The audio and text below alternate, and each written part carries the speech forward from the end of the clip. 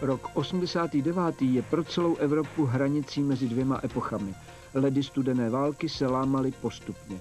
Pět dní neohrožených manifestací Palachova týdne v Praze byly už v lednu prvním signálem, ale to už v Polsku vedla Solidarita válku s komunismem celých devět let. V Dubnu byl režim nucen Solidaritu znovu po sedmi letech povolit ale už v únoru je v Maďarsku zaváděn systém více stran a v květnu tam padá železná opona. Cesta je volná. Toho využívají Němci z NDR. Desetitisíce se jich maďarskou oklikou vydávají do západní poloviny své vlasti.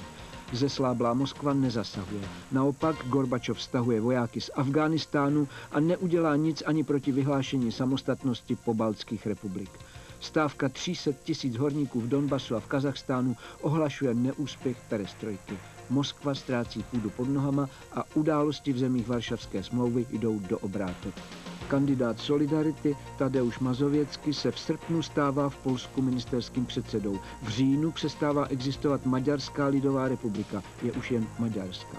Exodus východních Němců má rovněž v říjnu za následek pád Ericha Honeckera v NDR a 9. listopadu padá berlínská zeď. Agonie zbývajících komunistických režimů pak vrcholí. U nás 17. listopadu. Ještě dříve ale padne v Bulharsku Todor Živkov. Na prosinec zbývá už jen Rumunsko. Revoluce tam trvá týden a má své oběti. Mrtví jdou do tisíců. Je mezi nimi i Nikolaj Čaušesku. Země střední a východní Evropy řekly západní polovině kontinentu, že začíná nová epocha.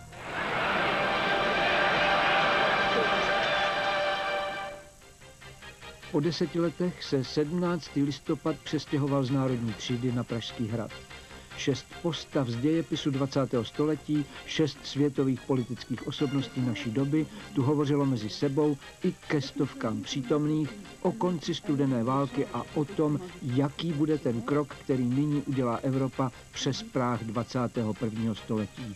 Sedmého státníka zpětého s rokem 89. zesnulého François Mitterranda zastupovala jeho žena Daniel.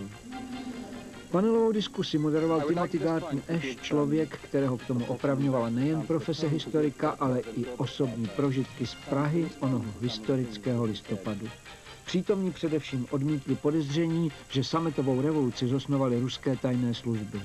Já samozřejmě jsem neviděl žádný plán eh, KGB ohledně provokací v Československu. V žádném případě se nic takového neschvaloval, to snad každý chápe. Jinak bych eh, spáchal no vlastně politickou no sebevraždu. Já si myslím, že v moderních dějinách není dějů, u nichž by se nechtěli nějak přiživit tajné služby ale zároveň si myslím, že tajné služby tyto dějiny nedělají. Nedívejte se příliš do spisů tajných služeb. Je tam velice mnoho věcí, které jsou prostě špatně. To je moje zkušenost. A tajné služby se zabývají především sebou samými a sebou vzájemně, aby prokázali svou nutnost, svou potřebnost. Avšak zaplať pámbu přes deseti lety v Evropě přitom nezvítězili. Gorbačov viděl kořeny dějné smršti roku 89. už v Pražském jaru. Já tak docela nesouhlasím. Ani s tím, že se jim pak snažili říkat, tak díky za 68. ale vaše doba je už pryč. Připomeňme si životní historii tohoto řečníka. Michail Gorbačov. Byl to on, kdo otevřel, či spíš pootevřel dveře. Netušil, že jimi dějiny projdou do jiné epochy. Ve funkci generálního tajemníka komunistické strany Sovětského svazu byl prvním mužem s univerzitním vzděláním a posledním generálním tajemníkem.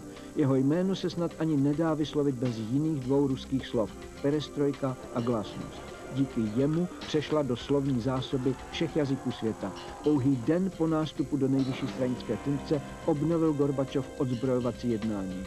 Ve svém přístupu k satelitním zemím zrušil Brežněvovu doktrinu. Právě od té doby mohli Berlín, Praha i Budapešť očekávat, že sovětský svaz nebude reagovat vojensky na jejich snahy o změnu. Když východní Němci řekli v ulicích Lipska, jsme jeden národ, wir sind ein Volk, zavřel Gorbačov oči a nechal padnout zeď ale dodnes nepřevlékl kabát. Je svůj. Také se dodnes nestal doma prorokem. Pro Lecha Valensu začal pád komunistických režimů už v roce 80. v Gdaňských loděnicích a jeho vyvrcholením byl pak rozpad Sovětského svazu. Tehdy jsme byli sami. Polsko bylo samo. Nikdo neměl připravenou žádnou variantu kdyby šlo o důležitější věci. Děkujeme Bohu, že se nám to podařilo. Pamatuji si, protože jsem deset let se všemi možnými vůdci vedl rozhovory a musím říct, že nikdo nevěřil našemu vítězství. Nevěřili a nedávali šanci, že tak velkolepé vítězství dosáhneme. Když padala berlínská zeď, tak kancléř Kohl byl tehdy v Polsku. V Surově brutálně jsem se tehdy zeptal. A slyšel jsem odpověděl, že to se nikdy za našeho života nepodaří. Lech Valensa, lidový tribun z gdaňských loděnic, byl jedním z dělníků a dělníky učinil hybnou silou, která rozbila dělnický stát. Byl také první z vůdců protikomunistických sil, které se za železnou oponou zvedaly, většinou nesměle, proti drtivé moci režimu, za kterým stála Moskva. Polsko ovšem vyzval Valensa totalitní moc na souboj už v roce 1980. Nezlomila ho ani roční internace. Jeho solidarita zůstala rozhodující silou na polské politické scéně 80. let. Už v roce 83 dostává Nobelovu cenu míru. Zcela logicky je to on, kdo je pak v přímých volbách v roce 1990 zvolen polským prezidentem. Muž revoluce nedokázal být mužem transformace. Nesmířil se ale s tím, že by se předčasně stal pouhým symbolem. Ještě dnes říká světu bez servítků svou a polskou pravdu. Kohl podtrhl historickou úlohu Gorbačova a adekvátní reakci Regana a Bushe na perestrojku. Rozhodující změna spočívala v tom, že na jedné straně Michail Gorbačov se chopil úřadu a že se svou politikou perestrojky rozpoznal, že stará komunistická kádrová politika je odsouzena k zániku a že na druhé straně, na druhé straně Atlantiku Ronald Reagan a především George Bush byli dva mužové v úřadě, kteří pochopili, co, tento, co toto znamení doby znamená. Znamenalo to zastavit zbrojení, hovořit se sebou vzájemně a vést jednání o odzbrojení. A nikdo v Evropě, a říkám to zcela vědomě, v žádné zemi by neměl věřit, že by bylo tehdy úspěšné, že by tehdejší revoluce byla úspěšná, kdyby se obě tyto dvě velmoci neobraly cestou rozumu. Helmut Kohl, politik mohutných myšlenek i postavy. Vizionář, kterého nejvíc překvapilo splnění vlastních snů o sjednocení Německa. Přesto připravoval systematicky půdu zlepšováním vztahů s pěrestrojkovým sovětským svazem a zvláště osobními kontakty s Michailem Gorbačovem, kterého dodnes označuje za svého přítele. Naopak čeští dizidenti se od Kohla nikdy nedočkali otevřené pomoci teprve v říjnu 89 nepřímo podpořil Václava Havla. Nejdéle úřadující spolkový kancléř upevnil postavení Německa jako hospodářské velmoci. 16 let byl jedním z hlavních motorů západoevropské integrace a později rozšíření Evropské unie na východ. Daniel Mitteránová vidí věci opačně. Říkala jsem si, zda v roce 89 lidé, kteří tehdy byli u moci, tomu, domu, tomu všemu dobře rozuměli, zda slyšeli ten národ za zdí ten statečný národ. Daniel Mitterrandová zdůraznila, že podle ní svět vysoké politiky nereagoval dostatečně na volání po svobodě, které se ozývalo spoza železné opony. A nakonec, co jim zbývalo? Museli sami vzít osud, svůj osud do svých rukou a tak se vydali na pochod. Když hovořila Daniel Mitteránová, mnozí v sále vzpomínali na to, čím její zesnulý choď přispěl k vývoji událostí v někdejším Československu. Snídaně v trávě se jmenuje slavné dílo francouzského malíře. Snídaně v Bukovejském paláci se jmenuje jedno z politických děl François Mitterranda. Lidským přístupem k psancům se pokusil rozstavit železnou oponu. Jako by se nechumelilo z mrazivé oblohy studené války, posnídal během státní návštěvy v komunistické Praze s disidenty. Amerika si tehdy křečovitě hlídala svůj rovnovážný vztah k Sovětskému svazu, aby se snad jaderné odstrašování nestalo jadernou válkou, nebo aby Gorbačov neměl doma potíže. Mitterrand si takovou starost nepřipustil a přišel. Velice pomohl. Pak nám ovšem předpověděl, že bude trvat dlouhá desetiletí, než budeme schopni hlásit se o členství v Evropské unii. V roce 91, když to v Praze vyslovil, znělo to jako názor člověka neschopného pochopit dobu. Dnes by Mitterrand zněl našim uším pravděpodobněji, což je hořké poznání. Byli to nepochybně Michail Gorbačov a Daniel Mitteránová, kdo se postarali o to, aby včerejší odpoledne na Pražském hradě nebylo monotonní. Bush paní Mitteránové oponoval. Spojené státy si dělali starost tím, že pokud bychom zbytečně vyprovokovali tehdejšího prezidenta Gorbačova. Kdo ví, jak by zareagovaly síly napravo od něj, vojenské síly. Proto jsme se snažili být velice opatrní, abychom Eh, jak si eh, netančili na nebezpečné půdě příliš.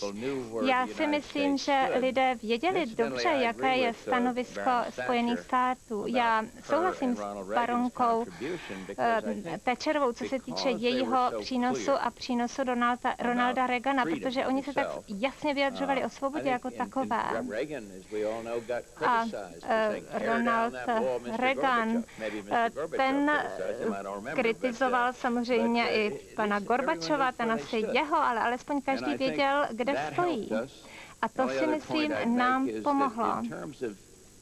George Bush, americký prezident z období konce studené války, již odzvonil v roce 90 zvonem svobody na Václavském náměstí. Už po jeho návštěvě Polska v letě 89 tam byl jmenován první nekomunistický premiér. Od svého nástupu do funkce Bush tlačil Sovětský svaz k ústupům v jaderném odzbrojení a koncem roku 89 na Maltě už jednal s Gorbačovem o podpoře změn ve střední a východní Evropě. Později váhavě přijímal nezávislost bývalých sovětských republik, ale světové uznání si získal invazí v Kuwaitu proti iráckému vůdci Husajnovi.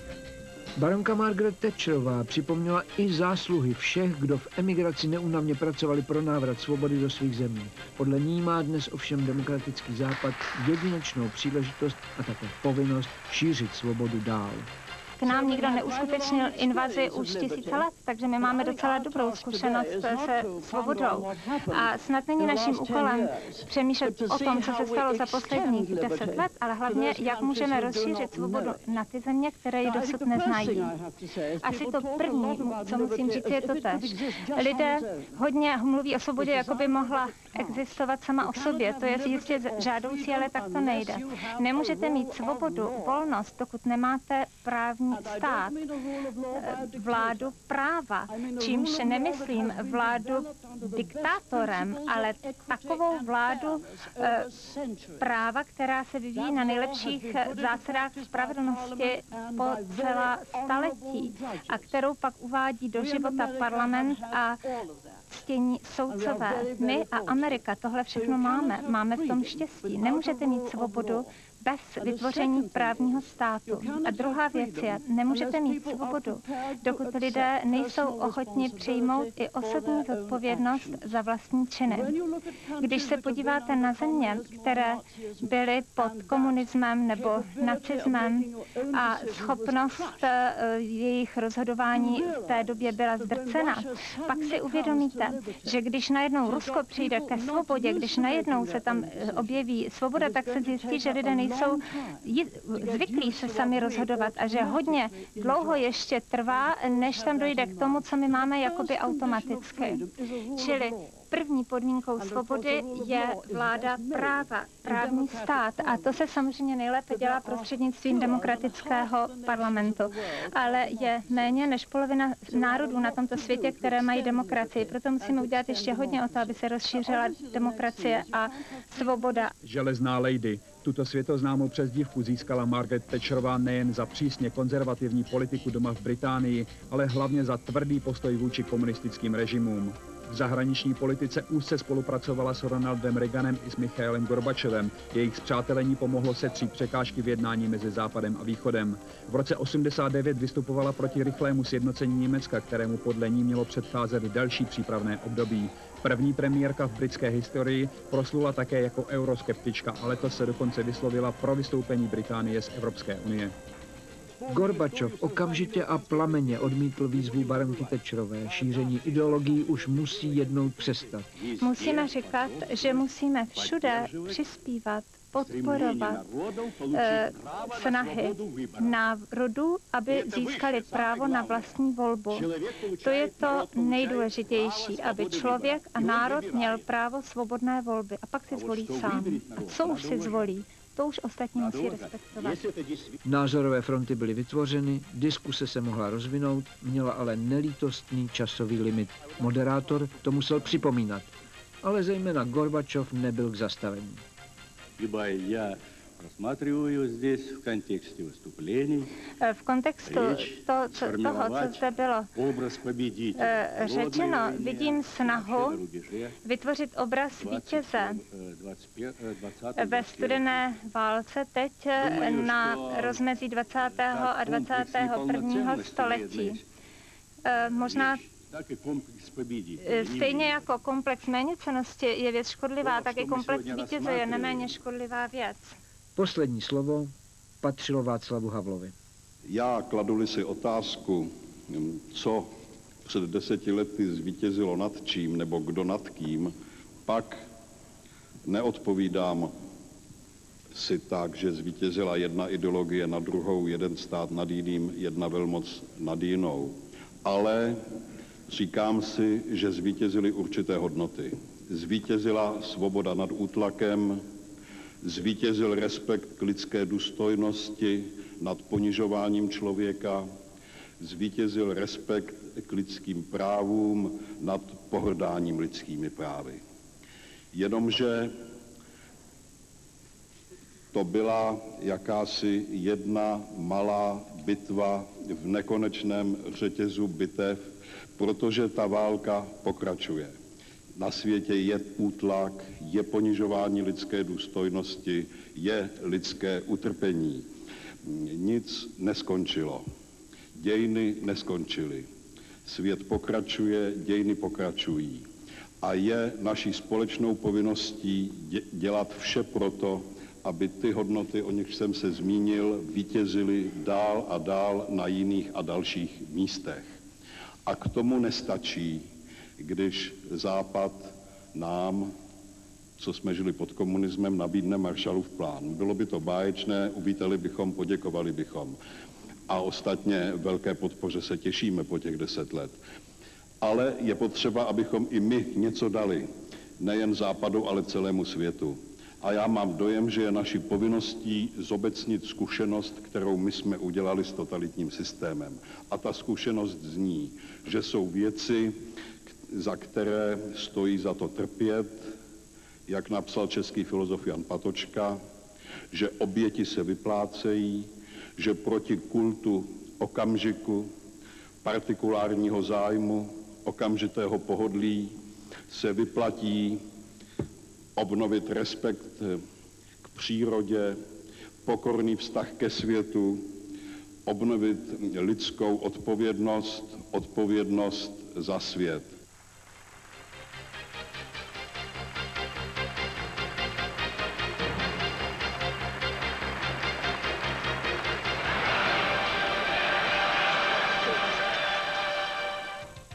Stržení železné opony otevřelo dveře k zásadním změnám na evropském kontinentu. Ve východním bloku došlo k rozpadu ekonomického impéria Rady vzájemné hospodářské pomoci i vojenského paktu Varšavské smlouvy. To také umožnilo konečně odsunout sovětské jednotky z Německa i z bývalého Československa, kde byly takzvaně dočasně rozmístěné. Postkomunistické země se po úpravě svých právních pořádků postupně stávaly přidruženými a později plnými členy Rady Evropy. Změny se ale rozběhly také na západě. Evropská unie si jako strategický cíl vytýčila své rozšíření na východ, které ovšem podmínila reformou vlastních struktur. Během deseti let se postupně připravovala také na jeden z pilířů hospodářské integrace Evropskou měnovou unii. Tvrdé fiskální podmínky dokázaly členské státy 15 splnit do konce roku 98, takže od letoška mohly začít vedle svých národních měn používat společné platidlo euro. Loni Evropská unie zahájila první vlnu přijímání kandidátů ze střední a východní Evropy a koncem tohoto roku mají být potvrzeny další země do druhé vlny integrace. K zásadnímu obratu došlo i ve vojenské oblasti.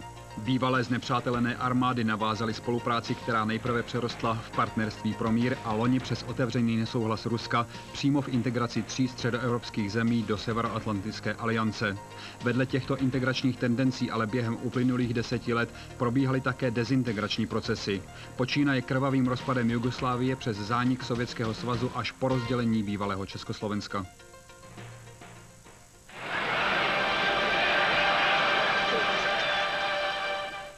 Českou a slovenskou cestu transformace hodnotil druhý den konference deset let poté. Ani chtěná česká výjimečnost, ani slovenská výjimka z normálu nevedly ke slibovanému ekonomickému zázraku a nastalo vystřízlivění v obou zemích. Podle politických komentátorů bylo hlavním výsledkem na obou stranách, že se společnost naučila sebeučení a sebeorganizování. Velkým zadostí učiněním je to, eh, že eh, Slovensko do určité míry právě nám eh, Čechům ukázalo eh, eh, v cestu eh, v tomto. Možná, že proto, že se ten mečiarismus, který mimo jiné podle mého názoru existuje v obou zemích, akorát v různých formách, takže tam, byl, tam se projevil v tou koncentrovanou formou v té jedné osobě a občanská společnost se proti němu tak masivně aktivizovala. Ale myslím si, že to, co se stalo na Slovensku v podobě toho růstu těch občanských iniciativ, to je pro nás velká, velká lekce. Akékoľvek krízy sa objavia a ja si myslím, aj kríza okolo Romov v Čechách je presne príkladom toho. Ja som pevne presvedčený, že sa s tým česká spoločnosť vyrovná. Je to, je to presne o tom, že všetkým tým, čo sme prešli, nás väčšmi naučilo reagovať na výzvy, ktoré pred nami stoja. A ten koncept seba učiacej sa spoločnosti, to je dieťa novembra a to je dieťa aj týchto desiatich rokov a to mi dáva takú vieru, odhodlanie, že to aj v budúcnosti pôjde predsa lepšie, ako dneska možno súd ovplyvnený tou blbou náladou cítime. Česká transformace prý přecenila hospodářské faktory a nedocenila právní systém, včetně ochrany práv menšin. Ekonomické polštáře, které déle než jinde tlumily sociální dopady, navíc odsunuli potřebu vzniku nových politických elit, které by dokázaly dokončit transformaci a propojit ji se vstupem do Evropské unie.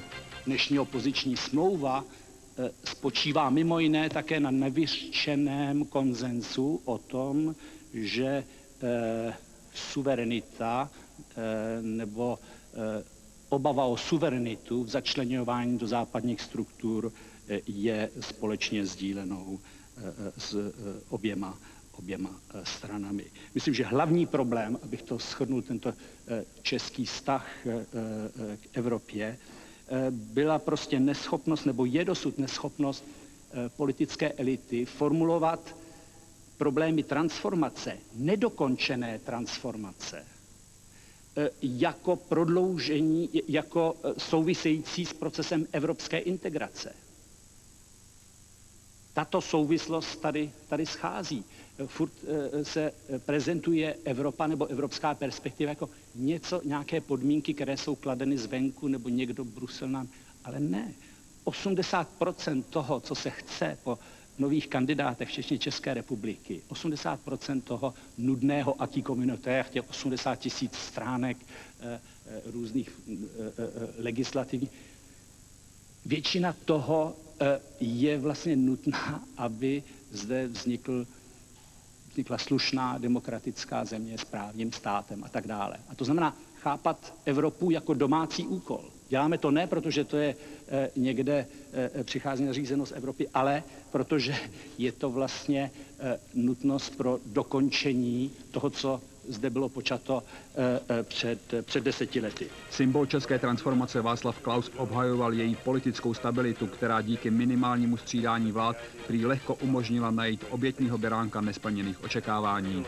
A já jsem měl tu nesmírnou čest, že jsem se tímto transformačním obětním beránkem právě díky této české specifice stal. V zemích, kde se střídali vlády a premiéři po půl roce, tak nebylo tak snadné takového obětního beránka nalézt a proto já tuto roli hrdě a s radostí hrají. Hlavní zahraniční investoři se s Klausem shodli na důvěře v pozitivní vývoj české ekonomiky. Škoda Auto, ABB i General Electric vyjádřili ochotu nadále investovat v České republice, ale volali po stabilnějším politickém prostředí a lepším právním rámci. Je třeba větší otevřenost k volnému trhu a etiku v podnikání. Zahraniční manažeři vyzvali Českou republiku, aby pokračovala v reformách, které zlepší investiční prostředí.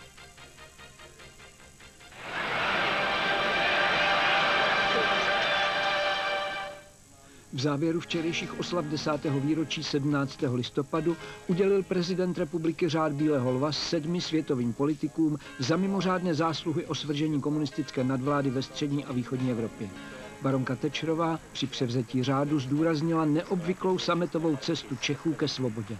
Nezapomněla vyzdvihnout podíl bývalého amerického prezidenta Ronalda Reagana na zhroucení komunistického panství.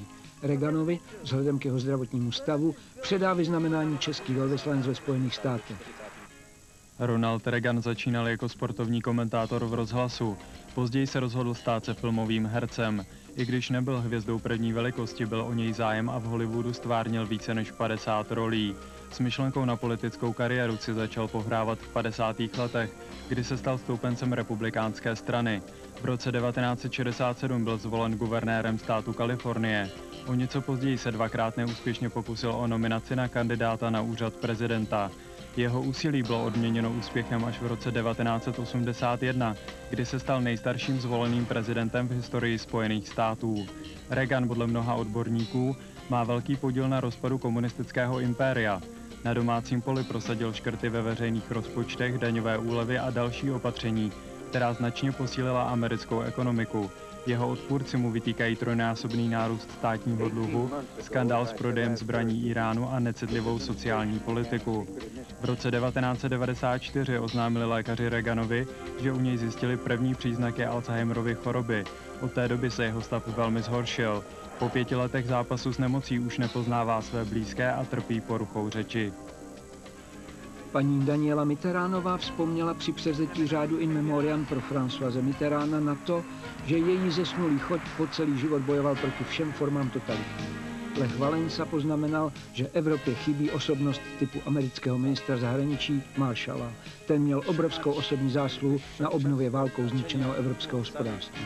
Kancléř Kohl poděkoval Václavu Havlovi za jeho rukopis v dějinách světa v knize dějin našeho kontinentu, řekl. Americký ex-prezident George Bush se omezil na upřímné poděkování.